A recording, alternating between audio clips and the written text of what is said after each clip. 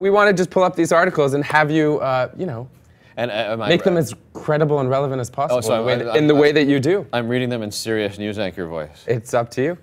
okay. He's like, I didn't sign up for this. All right, it's your, it's your. Oh, these, it's, these are so these are actual headlines. these are Huffington Post stories okay. that are getting and generating many clicks. Uh, so there, there's got to be some relevance to them.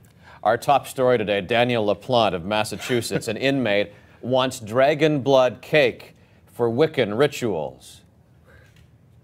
I would read more about that. I'd click on that. I like that one. I think I think um, I, you know the way you made it. You, when you read it, I wanted to not only read it, I wanted to be involved in the dragon blood rituals.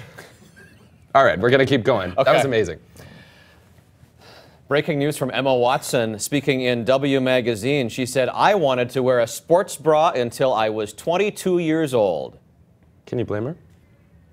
I'm, you see, I don't know enough about Emma Watson to know whether she is, is of, of significant endowment or not. Like, what, what does that mean? Why is, why is she saying that? I mean, there's a photo, Harry Potter. uh, She's right there. So I would argue that we should probably not speculate about her endowment too much and move on to the next read. Okay, fair enough. Nude Bea Arthur painting by John Currin sells for 1.9 billion, 1.9 million dollars. I'm sorry, it should have should have sold for 1.9 million at Christie's auction. I saw this in, in the New York Post. Actually, put the the painting in in the newspaper Oh, this morning. Yeah. Without any pixelization. Uh, that's not something that I. I wouldn't pay 1.9 million. Oh. there, there, you- there you- We didn't pixelate it either. I don't, Yeah, is this I- legal what I'm doing? I, I- there's a I- reason they're not taking my screen. No, they've take, just they've just taken your screen now. Okay, See, that's that's what that's not.